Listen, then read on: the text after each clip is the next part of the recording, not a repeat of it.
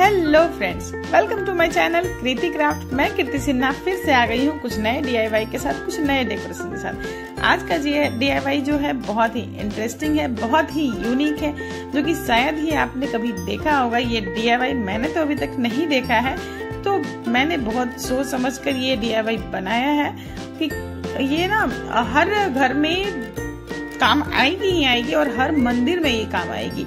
आप चाहें तो इसको मंदिर में भी लगा सकते हैं या तो आप चाहें तो ये फ़ोटो फ्रेम में भी लगा सकते हैं। तो, तो जिन्होंने मेरे चैनल को सब्सक्राइब अभी तक नहीं किया है तो please do subscribe my channel like comment and share और बेल आइकन दबाना बिल्कुल न भूलें मेरे नेक्स्ट वीडियो की नोटिफिकेशन के लिए। और जिन्होंने मेरे चैनल को सब्सक्राइब कर लिया उसके लिए बहुत सारा थैंक यू सबसे पहले मैंने ले लिया था ये गोटा पत्ती की लेस मेरे पास थी। आ, ये इसमें आप कोई भी लेस यूज़ कर सकते हैं। तो ये मैंने अप्रॉक्स अपने फ़ोटो फ्रेम के लेंथ के अकॉर्डिंग ही बनाया है। या तो आप मंदिर के लिए बना रहे हैं तो मंदिर के लेंथ के अकॉर्डिंग ही बनाइएगा उतनी ही लंबी लीजिएगा।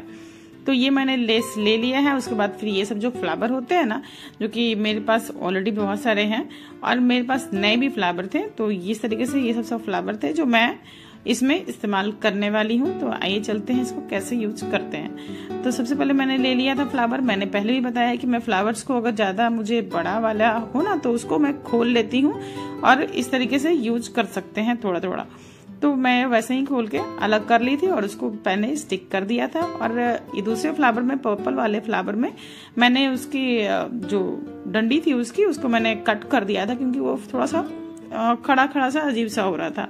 तो मैंने उसको कट कर दिया था और फिर वहाँ पर ग्लू की हेल्प से स्टिक कर दिया था।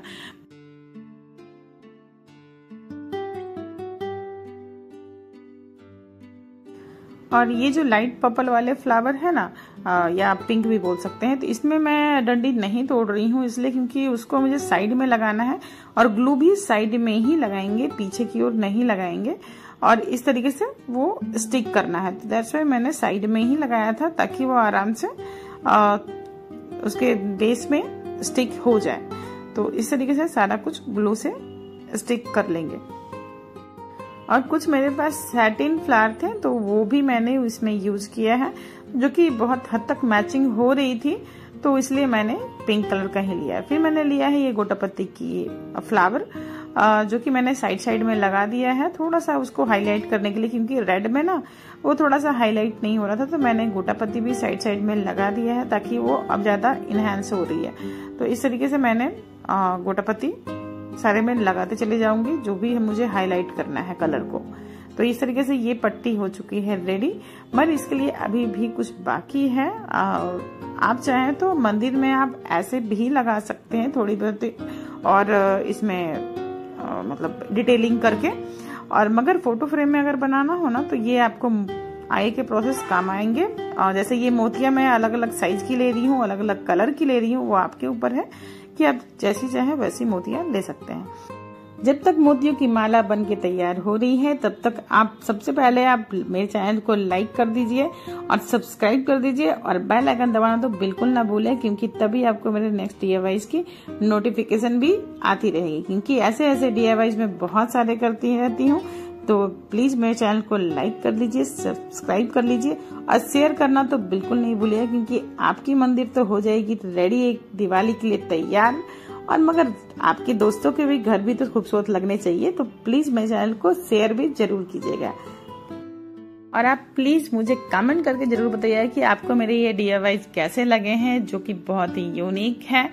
तो प्लीज़ मुझे कमेंट कीजिएगा क्योंकि तभी मुझे ना मोटिवेशन मिलता है कुछ नया आइडिया निकालने का और कुछ नया करने इस तरीके से मैंने पूरी माला स्टिच करके कर ली है रेडी और स्टिच करने के बाद जहाँ पर मैंने स्टिच किया था तो जो भी एक्स्ट्रा धागे थे, वहाँ मैंने कट कर लिया था। फिर भी वो थोड़ा बहुत कुछ ना कुछ दिख रहा था। तो फिर मैंने भी उसको कवर अप करने के लिए एक मिरर वहाँ पर चिपका दिया है, ताकि वो कवर भी हो जाए और खूबसूरत भी लगे। तो इस तरीके से मैंने सारा कुछ बना लिया था। फिर मैंने साइड में मतलब बांधने के लिए जो जो भी हम लोग फ़ोटो फ्रेम के लिए बना रहे हैं या मंदिर के लिए बना रहे हैं तो बांधने के लिए इस तरीके से मैंने डोरी ले ली है। ये सब डोरियाँ ना, जहाँ पर आपको लेसेस वगैरह मिलते हैं ना तो वहाँ पर डोरी भी मिल जाएगी, मिरर्स भी मिल जाएँगे मतलब सारी चीज़ें वहाँ पर मिल जाती है, जहाँ पर लेसेस वगैरह मिलते हैं।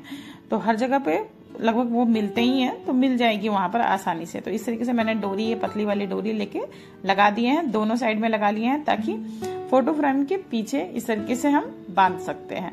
तो ये देख रहे हैं ना, मैंने दोनों तरफ़ से ऐसे ही लगाकर आराम से ये पीछे बंद गई है और इसका वेट भी पूरा माला ले चुका है। तो ये बहुत ही यूनिक आइडिया है। मैं बार बार बोल रही हूँ मैं सच में बहुत ही खूबसूरत लग रहा था कि ऐसे वो आराम से फ़ोटो लगी पड़ी रहती है। बट ये लगाने से ना अलग से एक मतलब लुक आ जाता है। हर कोई उसको देखता ही है और पूछता ही है कि वाह क्या आइडिया है?